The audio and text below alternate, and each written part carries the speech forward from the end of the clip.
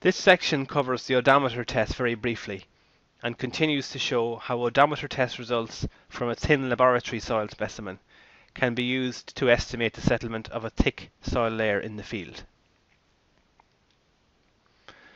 The sample is taken using the cutting ring and assembled into the apparatus with porous stones top and bottom and the top cap through which the load is applied. The water level must be topped up periodically to ensure that the sample remains fully saturated throughout testing. The dial gauge mounted on top records settlement. This is the plot of void ratio against vertical effective stress on a log scale mentioned in the previous section. The graph is what might be obtained in an oedometer test when a sample is subjected to a number of load increments. The kink in the graph is the pre-consolidation pressure, sigma dash Vy, the maximum ever vertical effective stress that the soil has experienced. The loading starts off on the left. At this stage, the soil is over-consolidated, OCR greater than 1. Note that the response is stiff. In other words, there is little change in void ratio for an increase in vertical effective stress. Once the pre-consolidation pressure is exceeded, the response is much softer. This is the normal consolidation line, where OCR equals 1.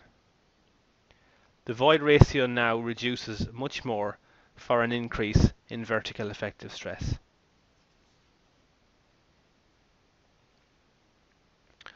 While we have already passed the pre-consolidation pressure of the soil when it was in the ground, we can create a new one for this particular sample by unloading as shown. Once we unload, the soil is once again over consolidated, OCR greater than 1. The more we unload, the more over consolidated the specimen becomes.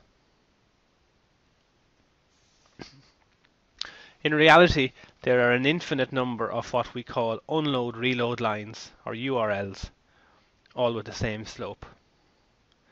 The slope in this overconsolidation overconsolidated region is called the swelling index and is given the symbol C subscript S.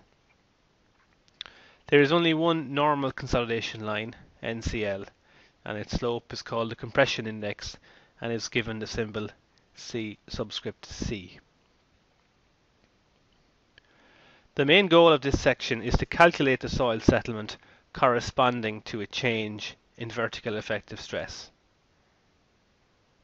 If we know the layer thickness in the field H0, the increase in vertical effective stress delta sigma dash V, it might be from an embankment for example, the pre-consolidation pressure sigma dash Vy, the compression index Cc and the swelling index Cs. How do we calculate the settlement delta H? Our starting point is the equation we looked at earlier, that delta H is equal to delta E over 1 plus E naught times H naught. And that's equal to H naught into delta E over 1 plus W naught times GS because the soil is saturated. So how do we determine delta E in that equation? There are three cases that we must consider.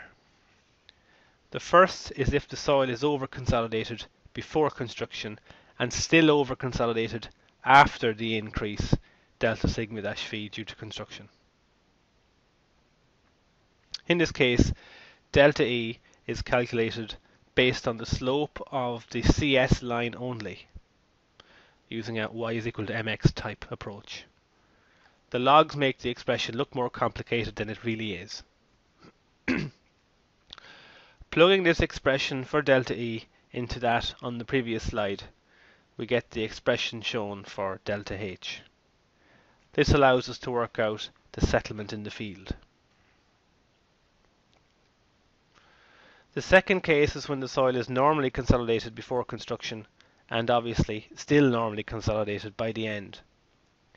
The formulation is similar to before except we are now using the CC slope which is typically 5 to 10 times higher than CS.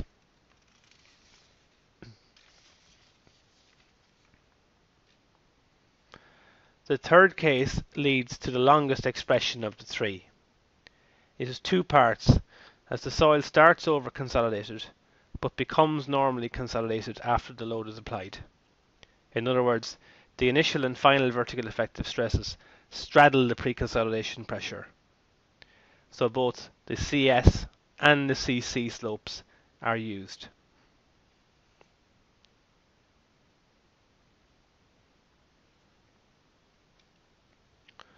Some general comments about this method. The method is thorough, but CC, CS and sigma-Vy can be difficult to predict reliably from oedometer tests. CC and CS are relatively constant and not stress dependent. Use case 2, in other words the case where you start normally consolidated and finish normally consolidated, if at all in doubt about OCR, as this is the most conservative approach of the three.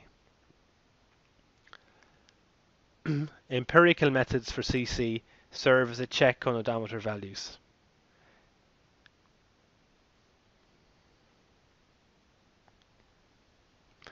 An alternative to this method is what's called the MV method. If the vertical effective stress is plotted on a normal scale instead of the log scale we have been using, we get this curve instead of the two straight lines. The equation on the top defines MV, essentially the slope of the curve between stresses sigma dash v and sigma dash v plus delta sigma dash v divided by 1 plus E0. Once MV is known from an oedometer test, it can be applied to a field layer of thickness H0 using the second equation.